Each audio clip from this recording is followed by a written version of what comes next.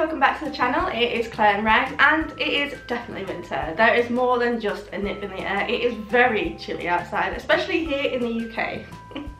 now while it's important for us as humans to keep warm in the winter, it is just as important for our cats. Now most cats do have uh, a built-in fur coat to keep them warm, but if your cat um, is an indoor cat or slightly uh, older, they can feel the cold. So Rex and I are here with some tips to keep your cat nice and toasty warm during the winter months.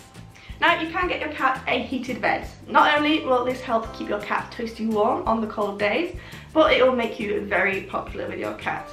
Now as cat owners we know that they absolutely love finding any source of heat, whether that's your lap or your laptop, so they are more than guaranteed to love their heated bed.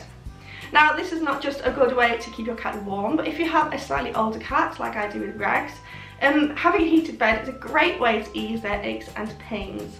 Rexy likes it on hers so much it's actually quite hard to get her off it. now heated beds are widely available and tend to be quite inexpensive.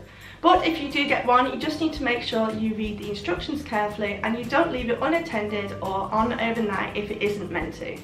Well, if heated beds aren't your cat's cup of tea, you can try giving them lots of access to sunspots. Now we all know that cats absolutely love basking into in the sun's rays no matter what time of year. The winter sun can be, even though it's cold outside, if it's coming in through a window it can be glorious and your cat will love it.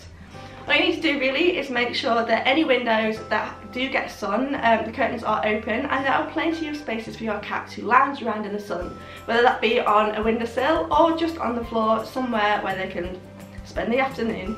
Now, maintaining your cat's activity level, especially during uh, the winter and colder months, is a great way to not only make sure your cat stays nice and toasty warm, but helps them keep active and healthy. Now, a lot of people during winter like to keep their cats indoors as it does get dark a lot and the weather can be very unforgiving. But you do need to make sure that your cat doesn't get bored while being shut inside. Make sure you play with your cat often, have lots of little games um, poked around the house and make sure you just spend a little time playing with your cat. Not only is this good to make sure your cat isn't bored, doesn't get cold, but it's a great way to bond with your cat. And lastly, during these winter months, you might want to keep an eye out for cats who don't have a nice cosy forever home.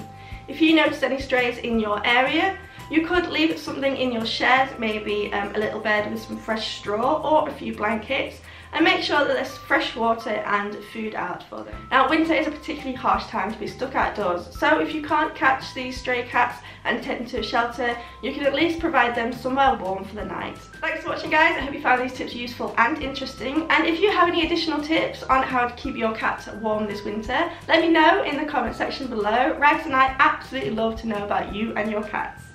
Now if you did like the video guys, please give me a big thumbs up and hit the subscribe button. And think about becoming part of the notification squad by clicking the little bell button.